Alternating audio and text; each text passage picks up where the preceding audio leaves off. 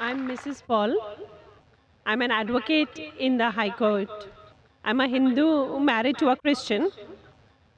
My question, which has come to my mind, is after hearing the uh, uh, thoughts of doctor and the uh, teachings of Islam regarding killing.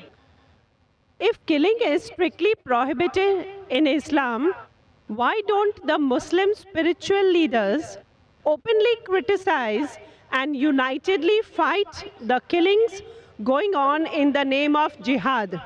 How can Muslims allow Islam to be misused and misquoted by a few of those uh, Muslims who are maligning the name of the entire community in the entire world? asked a very good question. She said that she was impressed with the teaching of Islam, that Islam is against killing innocent human beings. But how come all the Muslim leaders don't get together and condemn the killing that is going on in the name of jihad? And just because of few black sheep, Islam is being maligned. Sister, for the detailed answer, you should listen to my last talk in the last conference, one year back in November 2008. My final speech of the second International Peace Conference was media and Islam, war or peace. The main thing to blame, it is the media. It is the media which picks up black sheep of the community and they portray as though they're exemplary Muslims. It is the media. So what you see in the media is not what's exactly happening. Quran clearly mentions in Surah Maida, chapter number 5, verse number 32, that if anyone kills any other human being, whether it be a Muslim or non-Muslim, unless it be for murder or for spreading corruption in the land, it is as though he has killed the whole of humanity. And if anyone saves any human being, it is as though he has saved the whole of humankind. So killing any innocent human being is a sin in Islam. Not only is it a sin, it is as though you have killed the whole of humanity. So anyone killing, you find cases taking place, going on the street and a bomb blast takes place, etc. Killing innocent human being is totally prohibited. It's clear cut. And when I went to USA, I went to UK, we have Muslim organization condemning what bomb blast took place in the tube station in London, we condemn it.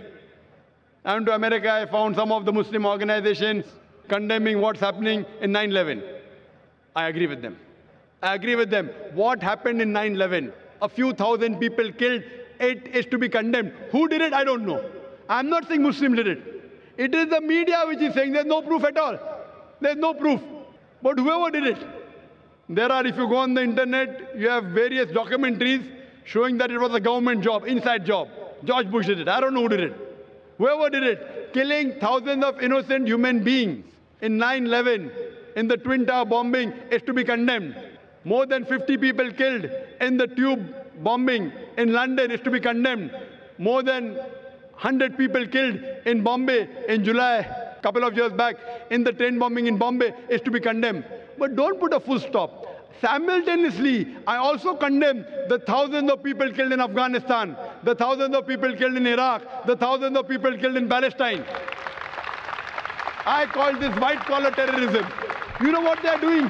They are giving missiles, they are sending bombs. There in Palestine, they are fighting with stones and they are called as terrorists. America is sending bomber Patriot missiles. They are sending cluster bombs.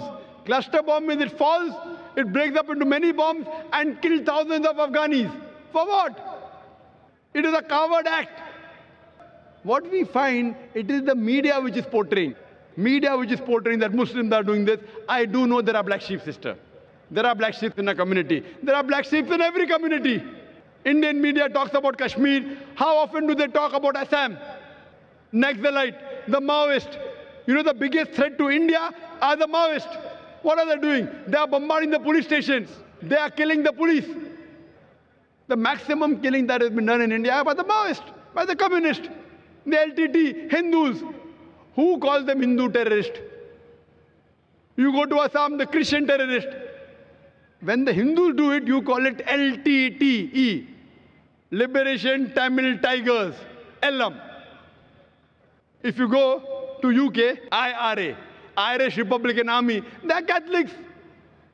They have a big difference between the Catholics and the Protestant. No one calls them Catholic terrorists. Why?